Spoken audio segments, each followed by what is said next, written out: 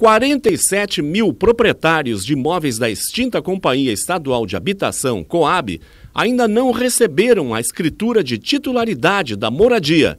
A informação foi apresentada na abertura do primeiro seminário de cooperativismo de habitação popular do Rio Grande do Sul, no auditório Dante Baroni, da Assembleia Legislativa. O governo do estado quer reduzir esse número.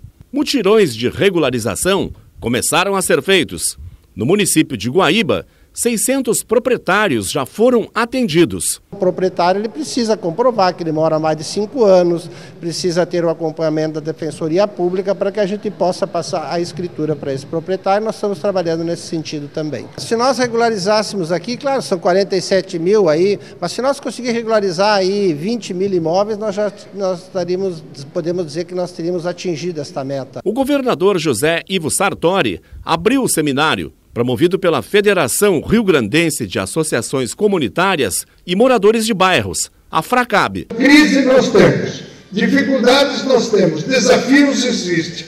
Agora nós não podemos esmorecer diante dessas dificuldades. E eu tenho certeza que vocês todos estão aqui se reinventando, gerando soluções novas para antigos problemas.